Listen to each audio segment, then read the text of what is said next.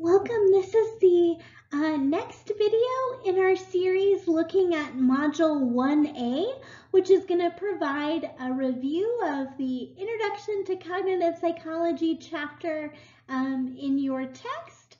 Um, and for this particular video, we're going to be looking at the work of Ebbinghaus and his uh, forgetting curve. Okay, so I'm going to begin our discussion of Ebbinghaus with an example that should be uh, familiar to at least some of you. Right? So let's suppose that you are planning to apply to a graduate program, right? So, so some kind of master's or PhD program. And the programs you're looking at require you to take the GRE exam, right? So the GRE exam is very, very similar to the SAT exam that you took uh, before applying to college. Um, and one of the sections in the GRE is going to be a vocabulary section or a verbal learning section that requires vocabulary. Right? So you decide that you're going to use uh, whatever free time you have this summer to try and uh, study for the GRE verbal section. So you look at your calendar and say, okay, I'm going to try to set aside some time every night to studying. And you even go so far as to purchase some vocabulary flashcards um, from Kaplan uh, to sort of kickstart your study session. Okay, so let's say that you sit down with your vocabulary flashcards on Monday night and it takes you about 30 minutes to learn all of the flashcards right? So after 30 minutes um, for each of your flashcards, uh, you're able to successfully say the definition, right? So you have learned them all completely in about 30 minutes. Okay. Well, let's suppose you decide to do the same thing on Tuesday night. So you take the same uh, pack of flashcards that you had before, and this time, it only takes you 22 minutes to go through them and to be able to recite all of the definitions correctly, right? So what this shows, right, is that your prior learning episode or your prior uh, study session, right, the study session you had on Monday night, allowed you to effectively save eight minutes, right? Or you uh, basically learned the same uh, stack of cards in uh, eight less minutes than it took you to learn it originally, right? So in a sense, that savings from the first study session to the second study session is an index, a quantifiable index of what you remember, right? But let's suppose that on Wednesday, your best friend is having her 21st birthday party, right? So you decide to skip studying on Wednesday. Um, so you come back to your cards on Thursday. And this time it takes you about 27 minutes to learn the cards, right? So you still have some savings. You're still saving yourself about three minutes right? But it's not quite as good as the savings that you had that first day with the 22 minute or the eight minute savings, right? Um, so why am I showing you this? Well, um, because this example is very, very similar to what uh, Ebbinghaus showed in his studies.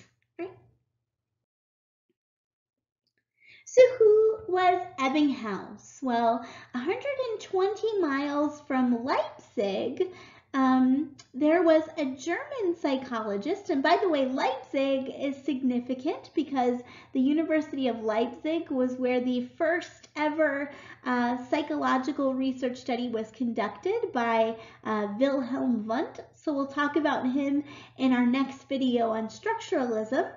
Um, but in any case, at the University of Berlin, uh, German psychologist Hermann Ebbinghaus was using another approach to properly measure properties of the mind. Right? So remember we talked about Francis Donders and how uh, he used his reaction time experiments um, to make inferences about mental processes, in this case decision making. Um, well, Ebbinghaus was also looking at behavior as a means to make inferences about a mental process, but in this case, he was inferring something about memory.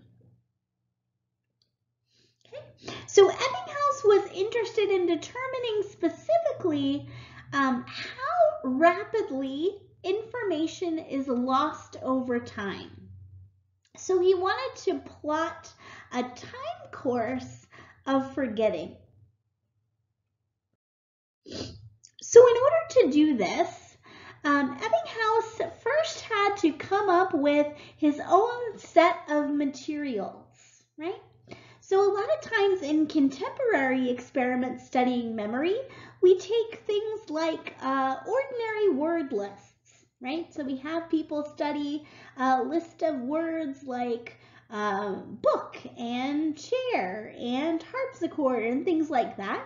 Or we might have them read uh, passages from a textbook. Um, but those aren't always the best measures of, are the best materials to use um, because they involve having a prior association with something, right? So if you have any experience with uh, those particular words, right, then those are going to influence, that experience is going to influence what you remember. So Ebbinghaus wanted to create uh, basically the purest uh, materials or the purest measure of memory that he could. And so he decided to use what he called nonsense syllables. So these were basically three letter words um, that were basically non-words, um, but had the same phonetic properties of words, right? So for example, dax or lem, right? Those are pronounceable like words, right? Um, but they have no meaning attached to them, which means we have no prior association with them. Um, so it's basically the purest uh, memory probe uh, that he could get, right? Because there's no there's no prior association. We have no uh, prior learning or memory of this information. So uh, what Ebbinghaus did is he used what's called a memory drum. And that was just in, in kind of an old-fashioned apparatus that would display the each each item or each uh, nonsense syllable, uh, and then he would turn the drum and it would turn over and another word would appear. So again, it's basically just uh, another uh, kind of old old time apparatus that, that took the place of, of what we now uh, use computers for. So what Ebbinghaus did is he would view lists of these nonsense syllables that he had created. Um, so most of his list were comprised of about 13 nonsense syllables. So he would view a series of nonsense syllables. And then he would repeat the list and he would try to predict the next nonsense syllable that would appear in the list until he could remember all of the nonsense syllables in the correct order, right? So just like when we're studying flashcards, right, we look at a word and try to recall the definition on the back, right? He would look at an existing nonsense syllable and try to remember which nonsense syllable came after it until he could recite them all from memory in the, in the correct order. Okay, so he would do that until he could recite them all in the correct order. Um, and what he did is he kept track of how long it took him right? So how long did it take him uh, to be able to learn that list of nonsense syllables and be able to recite them in the correct order? And then he would do the same exact thing after some kind of delay. So what did Ebbinghaus do with this information? Um, well, he basically did the same thing um, that I worked uh, through with you guys um, in the in the first example. Um, so he compared the time that it took him to first learn the list to the time it took him to relearn the list after a delay, and that gave him his savings score, right? Um, so just like it took you guys in our example 30 minutes the first time you studied the flashcards um, and 22 minutes the second time you uh, studied the flashcards, flashcards 24 hours later, right? Um, your savings in that case would be a savings of eight minutes. And the savings score reflects the quantitative index or uh, quantitative measure of what you remember, right? Um, so that's what Ebbinghaus did uh, using his nonsense syllables, right? Um, so for in this example, in uh, as shown by the blue bars, um, it took him uh, 1,000 seconds to initially learn this list of nonsense syllables. And then he waited 19 minutes before attempting to relearn the list. And he was able to relearn the list um, in about 400 seconds, right? So his savings was about 600 seconds. Um, but what he noticed is that as the delay or as the time between the first learning episode and the subsequent learning episode increased, his savings score decreased, right? So as the delay got longer, uh, the, the savings got smaller, basically, right? So um, initially, uh, in that in the first graph, his savings was about 600, but when the delay increased from 19 minutes to 24 hours, right, that savings dropped from a savings of 600 to a savings of 350 seconds, right? So just like you guys in the previous example, first you saved uh, um, about eight minutes, right?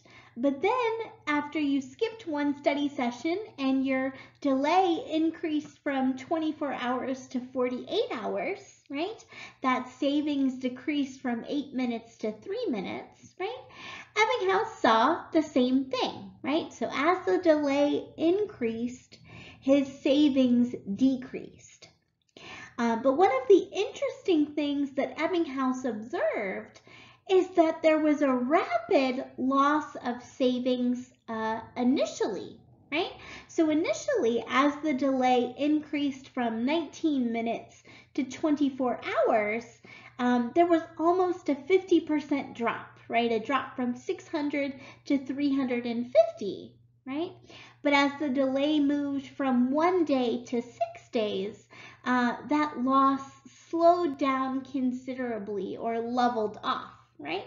So it only jumps from 350 second savings at one day to 270 uh, uh, seconds um, at six days, right? So the general pattern, if we were to plot the time course of forgetting, is that initially there's a rapid decrease in savings as the delay increases. But eventually that decrease in savings levels off. Okay? Um, so again, what is significant about this? Well, it doesn't matter what materials you're learning, whether they're uh, nonsense syllables, vocabulary words, what have you. Um, anytime you measure your uh, savings as a function of delay, you're going to see that same pattern of first there's going to be a rapid decrease in savings and then it's going to level off, right? That's true of everyone, regardless of the materials that you use. Um, and we could plot that time course for anyone. Um, and that particular pattern is referred to as a forgetting curve. Um, the other significant thing about this is Ebbinghaus's contribution in terms of cognitive psychology. So he joins uh, Francis Donders in being one of the first people to effectively use a behavioral response as an index for a mental response, right? So he could look at um, the uh, quantifiable index of savings, um, which is an observable measure um, of something unobservable, which is memory. Okay, um, so like uh, Francis Donders looked at reaction time as a proxy for the internal cognitive process of decision making, um, Ebbinghaus looked at uh, savings, which is a quantifiable index of memory. Okay, so we're using behavioral index, uh, uh, indices or measures um, to tell us something about mental processes. Okay, all right, so I'll see you guys in the next video. Feel free to contact me if you have questions.